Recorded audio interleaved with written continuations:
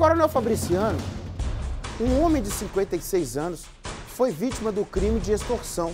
De acordo com a polícia, ele teve relações extraconjugais com um rapaz de 19 anos que depois exigiu dinheiro, né, para que não divulgasse imagens dos dois juntos.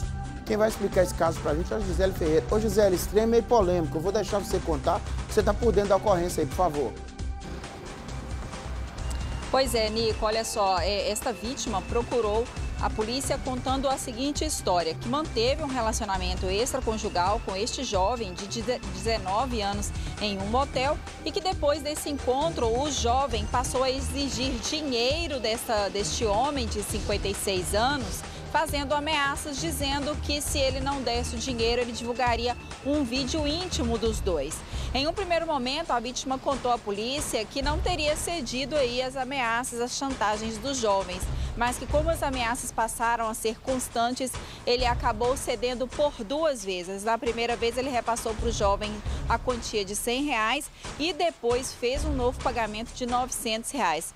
As ameaças não pararam por aí, segundo a vítima, né, o jovem de 19 anos passou a exigir mais dinheiro, pediu 5 mil reais e caso ele não, né, não, não fizesse esse pagamento de 5 mil reais, ele postaria o vídeo nas redes sociais. Então, diante dessa nova ameaça, a vítima, ela marcou um encontro com este jovem, dizendo que então passaria, repassaria este valor para ele. Chegando lá, a polícia foi chamada e este jovem acabou sendo detido aí pelo crime de extorsão e também pelas supostas ameaças que a vítima disse ter sofrido. Olha só, é, o jovem de 19 anos disse que mantinha relacionamento com este homem desde os 17 anos de idade e que eles se encontravam nos fins de semana e que pelos encontros eram pagos as quantias de 150 reais a 5 mil reais,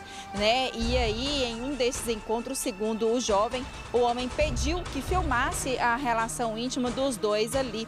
Porém, depois de um tempo, a vítima pediu que o vídeo fosse apagado e que pagaria ao suspeito o valor de 5 mil reais. O celular do jovem foi apreendido e ele foi encaminhado para a delegacia de polícia civil. Bem complicada essa história, né, Nico?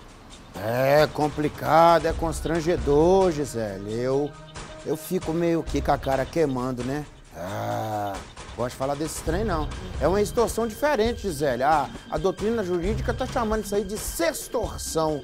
É o uso da imagem para ameaçar a vítima. Né? O sujeito tira uma foto íntima e fala: tem uma foto íntima sua aqui. Se você não me der tanto, eu vou publicar essa foto. É, chama sextorção.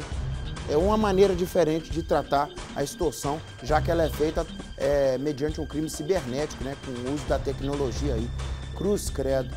Obrigado, Gisele, por sua informação, né, filha? É constrangedor mesmo, né? Repórter fica com a cara quadrada, o apresentador também.